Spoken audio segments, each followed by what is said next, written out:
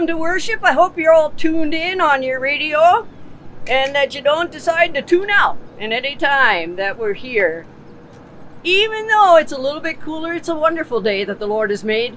And so we gather to rejoice and give thanks and be glad in it. And we will be checking on your way out to see if you're glad. Got a response. I can't tell what the response is. It's probably best.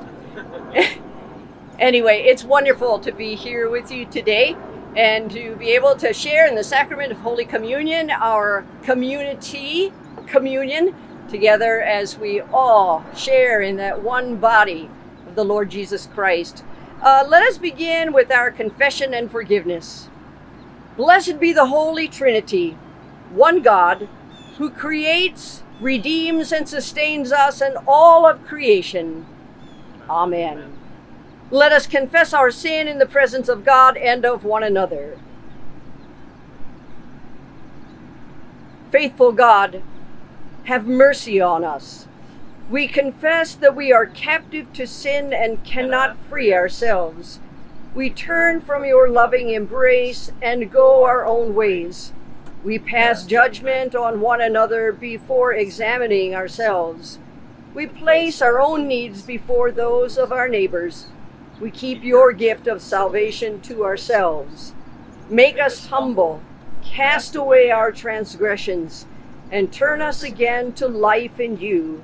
Through Jesus Christ, our Savior and Lord. Amen. God hears the cries of all who call out in need, and through his death and resurrection, Christ has made us his own. Hear the truth that God proclaims. Your sins are forgiven in the name of Jesus Christ. Now, led by the Holy Spirit, live in freedom and newness to do God's work in the world. Amen. Good morning, everyone. Our gospel reading for today comes from the book of St. Matthew in the 18th chapter.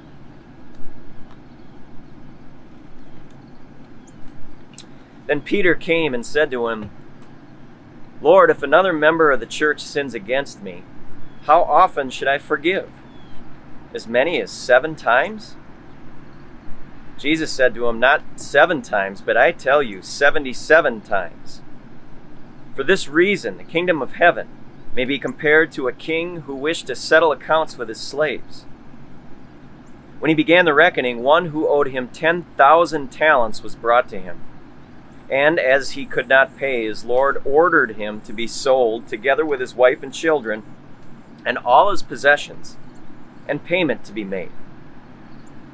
So the slave fell on his knees before him, saying, Have patience with me, and I will pay you everything. And out of pity for him, the Lord of that slave released him and forgave him the debt.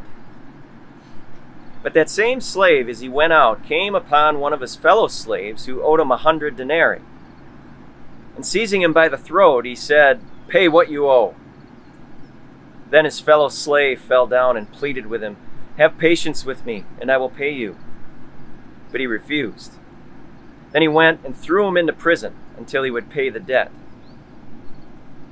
When his fellow slaves saw what had happened, they were greatly distressed, and they went and reported to their Lord all that had taken place.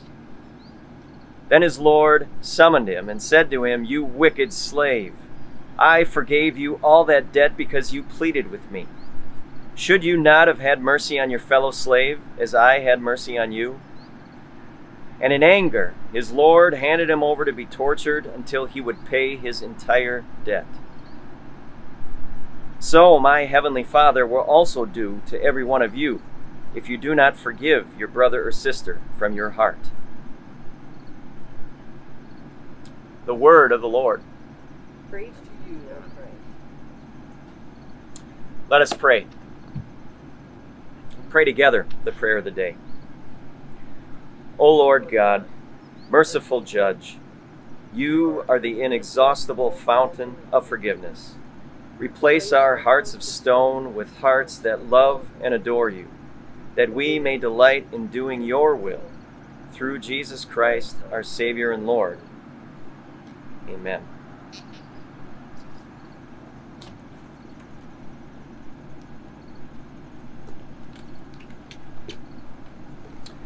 Well, good morning again, everyone. Welcome to worship this morning. Much grace and peace to all of you from God the Father, God the Son, and God the Holy Spirit.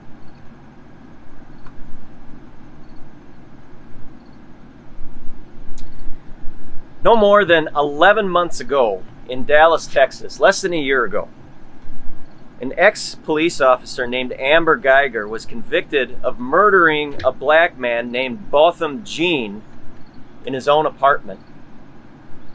You might remember the story. She had entered Botham's apartment by mistake. She thought it was her own. They lived in the same building.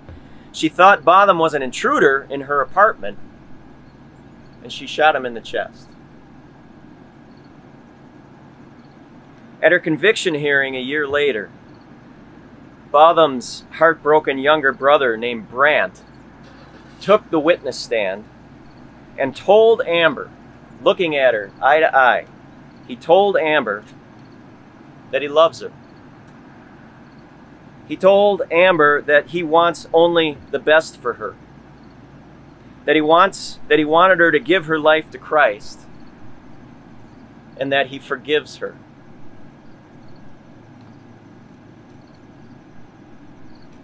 Then he said, This is what Botham would have wanted as well. And then, after asking permission from the judge, Brandt got up, walked across the courtroom, and embraced the woman who killed his brother.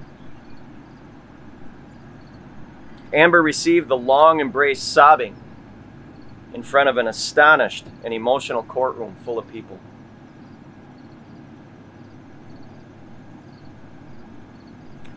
Amber Guyger was then escorted off to prison, which is as justice should be.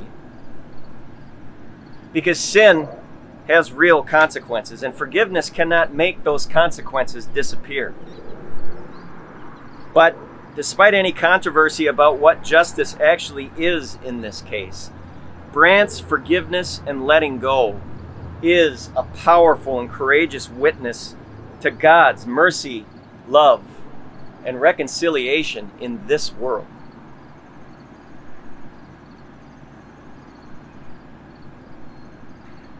How often should I forgive? Peter asked.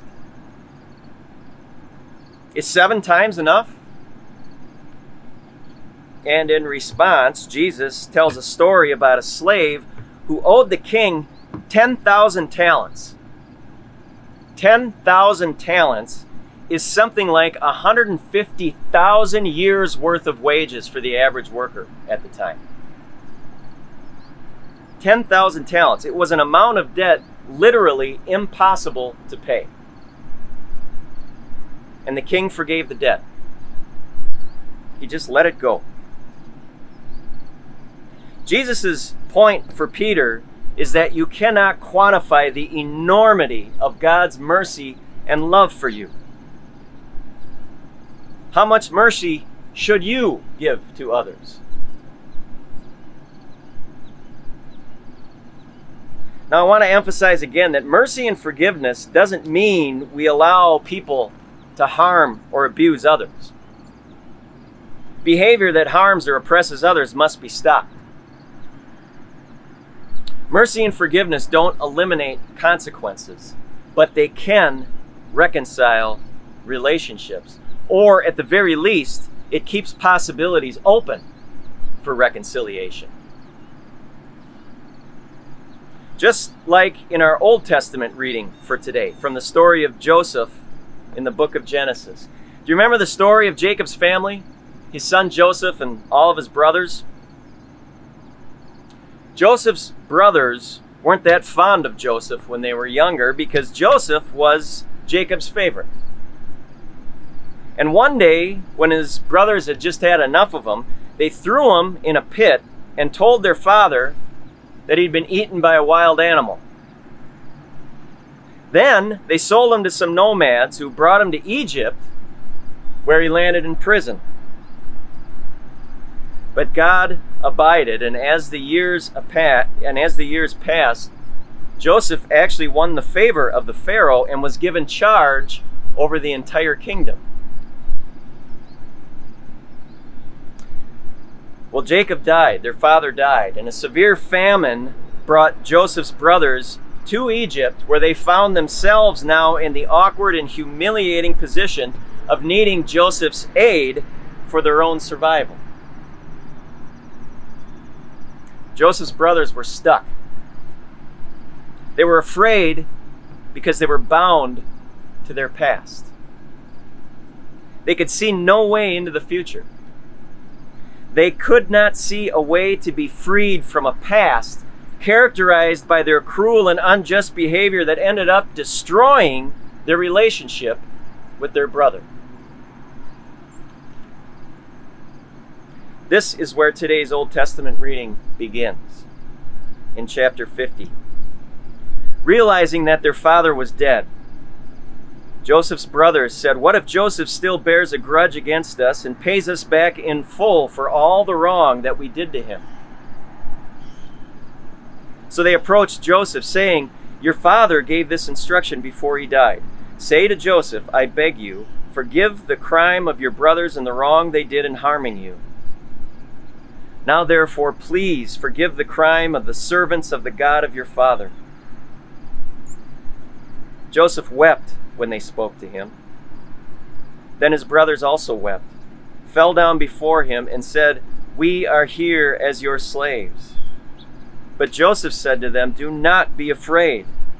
Am I in the place of God?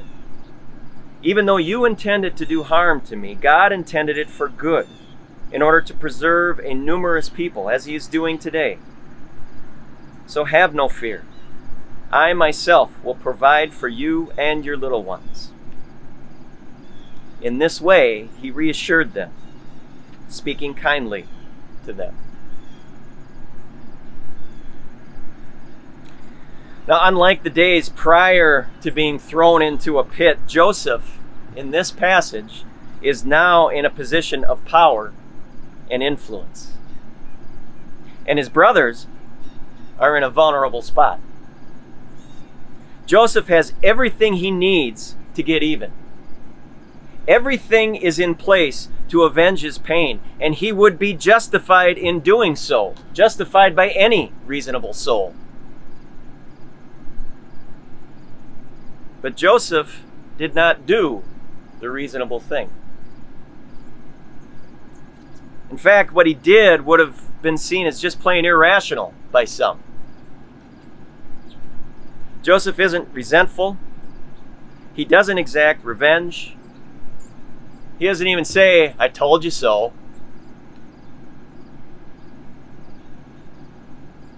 And maybe this is why Joseph wept. Because forgiveness and letting go can be some of the hardest work we do as followers of Jesus. It's so much easier to harbor anger and resentment. It's so much easier to hang on to the self righteousness of knowing that others who have caused us pain deserve punishment. But doing so diminishes possibilities for the future. It diminishes the space in our lives for the Holy Spirit to work the reconciliation, healing, and new life that God promises and desires for us. It binds us to the past in ways that prevent us from turning and leaning fully into the future that God is creating for us and calling us into.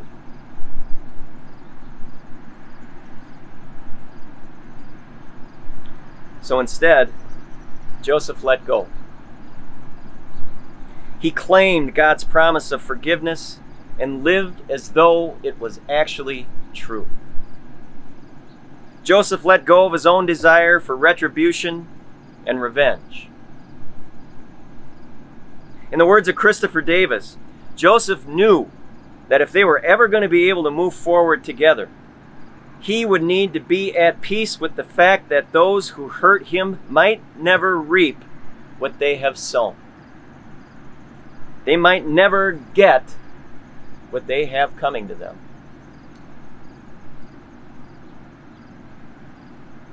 Joseph let go of resentment and revenge and grasped onto God's vision of reconciliation and new life.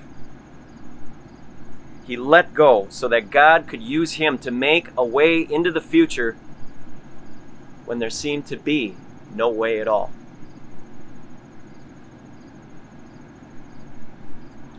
Do not be afraid, Joseph said. Even though you intended to do harm to me, God intended it for good. You must remember that letting go is not the same thing as ignoring or forgetting about your pain and suffering. Joseph didn't do that. Now, letting go and forgiving is about trusting God's promise that in the midst of your pain and suffering, God is present with you, creating hope and light and new life.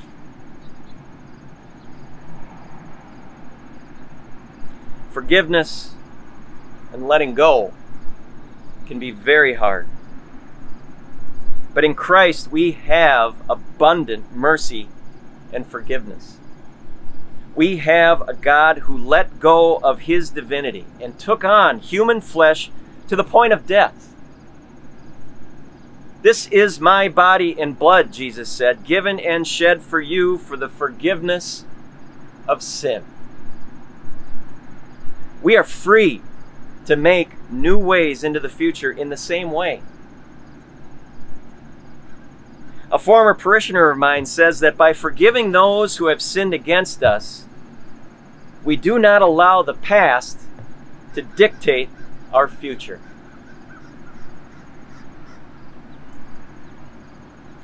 Good people, you are forgiven. Always. No matter what. No matter how dark or hopeless the world can be, we are free from our past and free for a future open to all the possibilities our life giving, merciful, and loving God has to give. For that, we can say, Thanks be to God. And now I invite you to join me in our prayers of letting go and moving forward and other prayers of intercession. Gracious and loving God, we come before you with humility and gratitude for all you have given us as a people and as your church. We thank you for amazing grace and for the great cloud of witnesses who have enabled us to become members of this church body. We are grateful for faithful leaders, including pastors, teachers, and musicians who have nurtured our faith.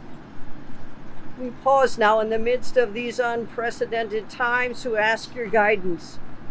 Help us as a congregation and as individuals to let go of the past that binds us. We do so knowing full well that unless we release what has been, we cannot open our hearts to become the church you want us to be. Lord, we know you have great plans for us. We pray for courage to face the future with confidence. Energize and revitalize us as your people. Grant us the gift of discernment that we may know and do your will. Be with us and strengthen us for the journey that lies ahead, trusting in your steadfast love to guide us. Bring healing and justice wherever harm is dealt. Provide vindication for all who are oppressed free victims of human trafficking and forced labor, deliver all who are bound by debt, feed all who hunger, and guard refugees fleeing famine, poverty, and war. Lord, in your mercy, we pray especially for people on the West Coast that are dealing with raging forest fires. For those of us that have family and friends that live out west, we pray a special prayer of protection that your holy angels would gather them into their arms and let them flee to safety. And Lord, in accordance with your good and gracious will for this world which you created, we ask that you send um, fire smothering rains, not in deluge, but that will that will cause uh, the fires to be put out and life to renew once again. Teach us to forgive. Remind us that you do not always accuse us. Still our tongues when we are tempted to pass judgment and argue over opinions. Make this congregation a community of mercy for one another and for all our neighbors. Lord, in your mercy, all these things and whatever else you see that we need, we entrust to your mercy through Christ our Lord. Amen. The peace of Christ be with you always. And also with you. And now we have that special time when we can't embrace in peace, so we can just toot our peace. You want to give a little toot of peace to one another.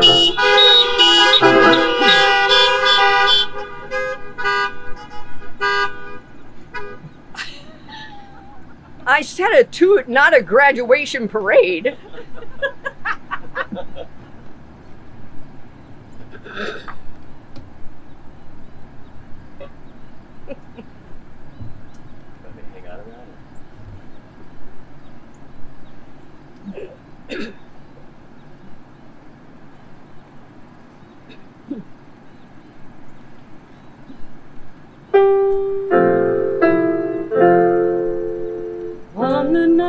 you were betrayed, you took the bread. After giving thanks, you broke it and said, This is my body,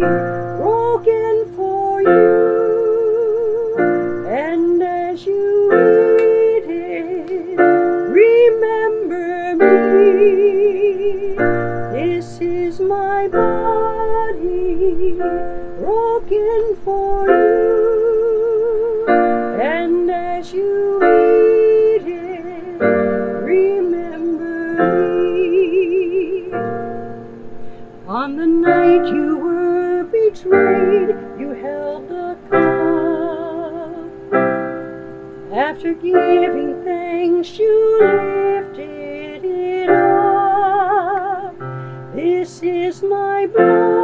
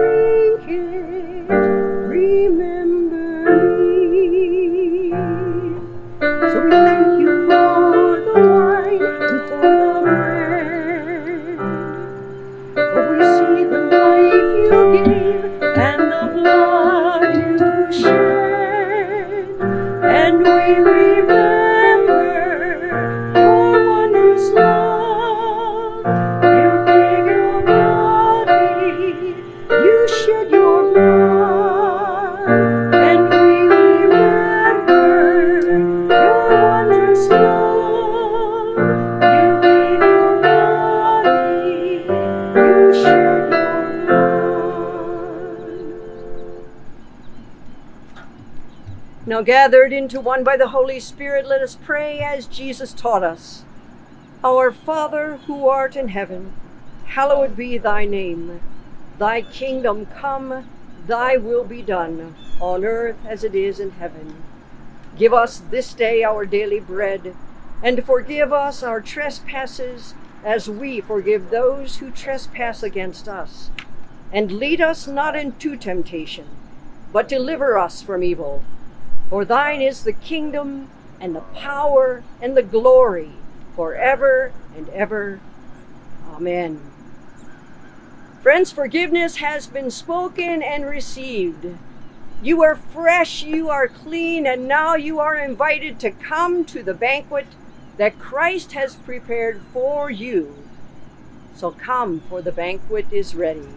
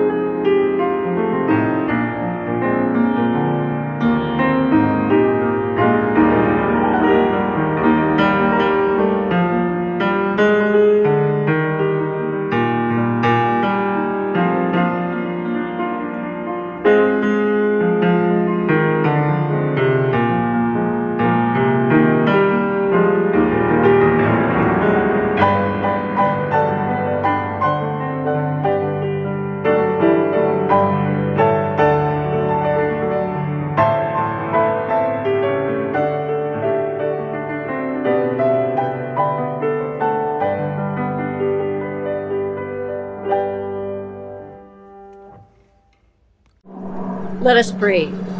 We give you thanks, gracious God, that you have once again fed us with food beyond compare, the body and blood of Christ. Lead us from this place nourished and forgiven into your beloved vineyard to wipe away the tears of all who hunger and thirst, guided by the example of the same Jesus Christ, and led by the Holy Spirit now and forever. Amen. Now receive the blessing of the Lord. Mothering God, Father, Son, and Holy Spirit, bless you and lead you into the way of truth and life. Amen. Go in peace. Remember the poor. Thanks be to God.